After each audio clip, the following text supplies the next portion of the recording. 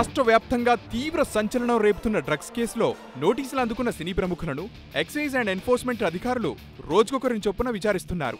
వారి నుంచి రక్తం వెంట్రుకలు గోళ్ళ శాంపిల్స్ సేకరిస్తున్నట్లు తెలిసింది. విచారణలో సినీ ప్రముఖులు ఏం వెల్లడించారు? అధికారులు ఏం నోట్ చేసుకున్నారు? అనే విషయాలను పక్కన పెడితే అసలు ఈ విచారణ చట్టబద్ధమేనా? లేక దౌర్జన్యంగా విచారణ జరుపుతున్నారా? Narcotic drugs and psychotropic substances act ఏం చెబుతోంది? గతంలో సుప్రీంకోర్టు ఇచ్చిన తీర్పులేమిటి? సిట్ అధికారులు అవి పాటిస్తున్నారా లేదా అనేది ఇప్పుడు చర్చనీయాంశంగా మారింది.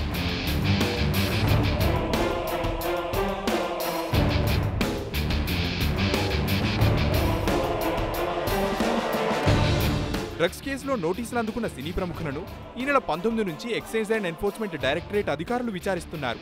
అయితే ఈ విచారణకు హాజరైన వ్యక్తి శరీరంలో డ్రగ్స్ ఆధారాలను గుర్తించేందుకు బ్లడ్ గోళ్ళు వెంట్రుకల శాంపిల్స్ తీసుకుంటున్నారు. ఎఫ్ఐఆర్ చేయకుండా కేవలం అనుమానాస్పదంగా ఓ వ్యక్తిని విచారణకు పిలిపించి శాంపిల్స్ తీసుకునే అధికారం ఎక్సైజ్ అండ్ ఎన్ఫోర్స్మెంట్ అధికారులకు గాని పోలీసులకు గానీ లేదు.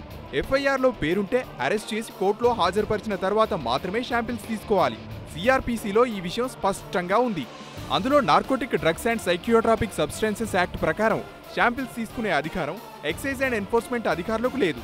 అలా చేయకుండా శాంపిల్స్ను తీసుకోవడం అంటే చట్టవిరుద్ధమే అంటున్నారు న్యాయ నిపుణులు. ఇది వ్యక్తుల హక్కులను కాలరాయడమే అని చెబుతున్నారు. బ్లడ్ శాంపిల్స్ అనేటువంటిది ఎక్సైజ్ అఫీషియల్స్ కానివ్వండి పోలీస్ అధికారులు కానివ్వండి సూమోటో తీసుకోవటం అనేటువంటిది సిఆర్పిసికి this is a contrary to the provisions of the CrPC వాళ్ళు చేయటానికి లేదు ఇది ఇల్లీగల్ యాక్టివిటీ ఎప్పుడో రెండు మూడు నెలల క్రితం విదేశాల్లో డ్రగ్స్ తీసుకున్న వ్యక్తిని ఇప్పుడు శాంపిల్స్ పరీక్ష చేసి నిందితుడంటే ఎలా అని ప్రశ్నిస్తున్నారు న్యాయ నిపుణులు. ఇలాంటి కేసులు కోర్టుల్లో నిలవవు. విచారణ పేరిట కొన్ని కుటుంబాలను ఆందోళనకు గురిచేయడమే తప్ప దీంతో ఎలాంటి ప్రయోజనం లేదంటున్నారు న్యాయ నిపుణులు.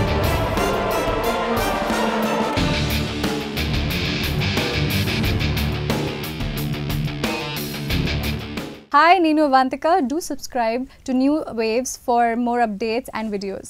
Hi youtubers మరిన్ని మంచి వీడియోల కోసం సబ్స్క్రైబ్ చేయండి దాంతోపాటే బెల్ ఐకాన్ పై క్లిక్ చేయండి